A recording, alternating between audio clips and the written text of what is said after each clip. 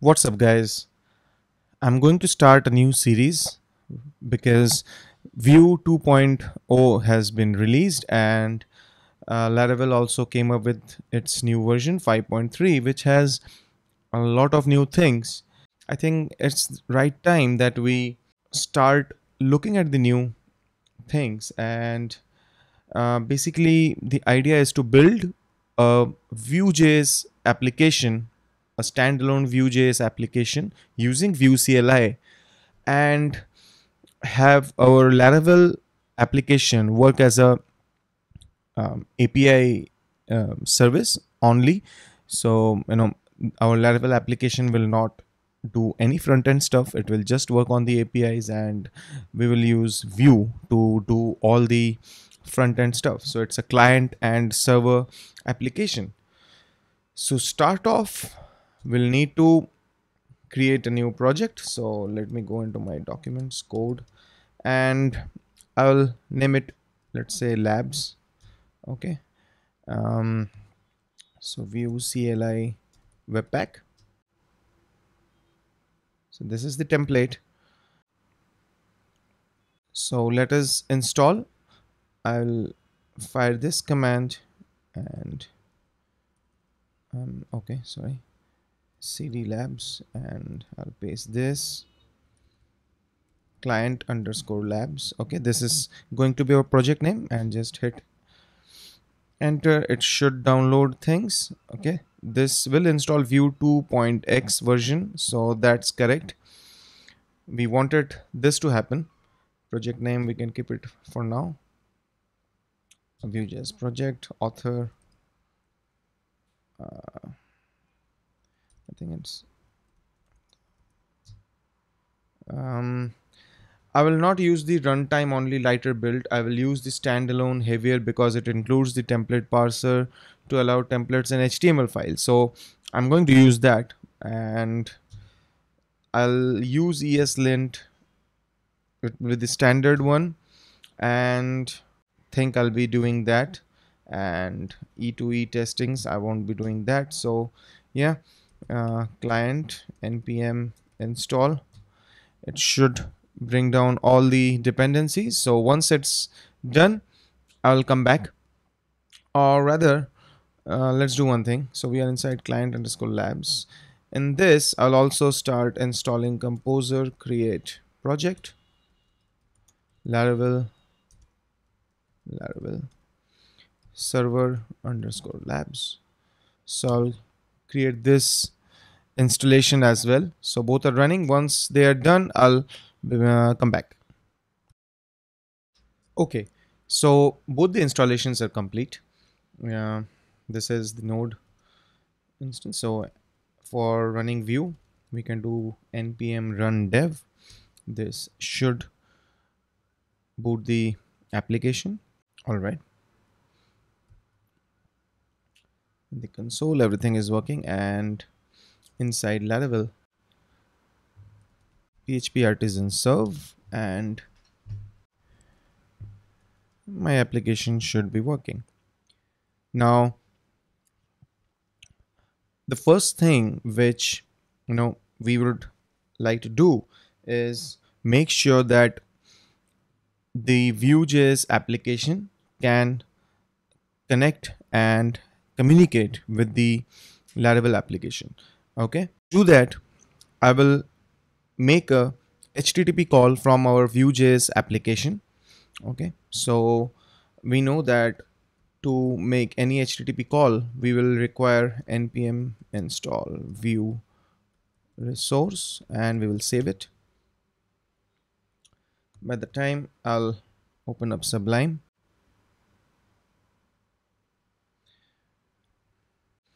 Mm, so this is the client code.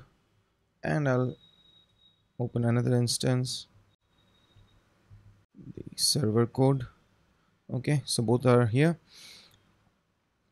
I have vue resource so package.json yes. Now quickly in our main.js so the, if you are not aware of the Vue CLI project everything we need to look into is inside source. So main.js is the uh, the main file. So import vue resource from. Okay this is done. Uh, we need to tell Vue to use vue resource. Okay and that should be uh, enough. Now we are using the app. So let me come here inside my script created okay. And in this I will do this dot dollar http dot post. Let's say our URL will be http localhost 8000 slash. Now any in Laravel 5.3 uh, there are some changes. We have an api.php and we have a web.php the basic idea is all our web related routes will be defined here in web.php and all our routes for API will be defined here. Now, let me do this. Let's make a get request. It's a test. Okay, function. Um, I'll return a response which is an array 1 comma 2 comma 3 4 okay. Let's quickly check if this is working. So api slash test. All right. So we have the json uh, response when we hit the url fair enough. But do we have the same behavior when we do it through vue.js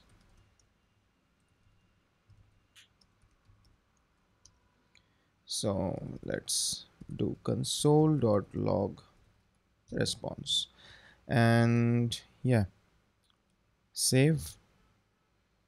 Okay. So uh, by the way Vue if you're not used to Vue CLI has a lint and it's very strict. Uh, so you have to follow some of the uh, rules. For example i can't do this. I need to have a space. I can't use any I, I can't keep any unused variables in a way it is good. You know it kinds of uh, keeps the code um, very similar for all the developers. Uh, so in a team it's a must have. But anyways so now you can see there is a problem. Response to pre-flight request doesn't pass access control check. Now this is something which we called the CORS issue. Cross origin resource um, requests are you know blocked by default. We are on localhost port 8080 and this is localhost port 80 sorry 8000 so they are of different domains and hence laravel is not allowing us to by default access anything okay? But we can securely do that. How? So the first step is we need to create a middleware inside our laravel um, project which will allow this. Okay so this is my server. I'll come here PHP artisan make middleware CORS. All right. Um, so my middleware will be inside http middleware CORS fine. In here the basic idea is we have to set a few headers okay? First one being access control allow origin and the second is access control allow headers where we can pass content type authorization tokens and a few things. So for that first we will create an array okay? We will say dollar domains equals an array in which first we will add localhost 8080 so what the, the reason to have this array is basically we are going to check that if the request is coming from a domain which is listed in our domains array then we will allow for you know uh, to go move ahead you know give give the user the data which he is requesting. Otherwise give him the CORS error. Okay so in that first we check we check an is set whether the dollar request server has a key called http origin. Okay. Http origin. Uh, let's see uh, fine. So if it is is set then dollar origin is equal to request server. Okay. So this is the origin and then we will do the in array check. If in array dollar origin in our domains array okay then first add a header. In this it will be access dash control dash allow origin. Okay. And it should have a colon dollar origin.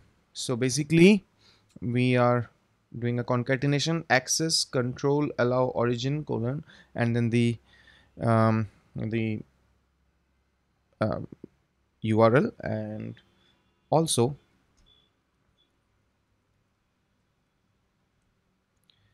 um, access control allow headers. Now this is another headers. And then we will have the colon and origin comma content type t should be capital and authorization. I don't need the origin okay. So what are we doing? Just a quick recap. If we find that the request has a server which is http origin if it is set then we come here. We take the origin and we check if the origin is inside our domain array. If it is um, then we add this access allow origin and we add this as well. I think this should be inside it. Okay let me just quickly check. Anyways so we have the CORS uh, middleware ready but you know we need to register this. Okay so i come over here and we need to make sure that it is running on every request. So what i need to do is app http middleware CORS class. Okay so this is done. And yeah we have this domain. And now let's quickly check if our request is working. Says method not allowed. Why? Uh, it's a get. There's no problem in that. And here also okay so I'm doing a post that's the reason. Okay. so now when I refresh you can see I'm getting the data right basically if I if I remove the CORS middleware and hit refresh I get the CORS issue. And if I uncomment it save and hit refresh I get the data. So basically this is how any front-end application can communicate if at any point of time we see that then there is some other domain which is going to uh, communicate. We can do something like mydomain.com so which will allow Laravel to understand that yes this is a whitelisted domain and I should have these headers um, you know and allow the request to get the required data. So yeah this is our first step of you know setting up laravel and vue.js and have the basic uh, http communication between those two applications. In the next step i will guide you through the process of um, setting up the authorization the api authorization using passport which is a new thing with laravel. Um, I use a you know use OAuth get the access token using password grant type and move ahead with our http requests so yeah if you like the video do click on the thumbs up icon and don't forget to share the video on uh, social networking websites. Thanks for watching.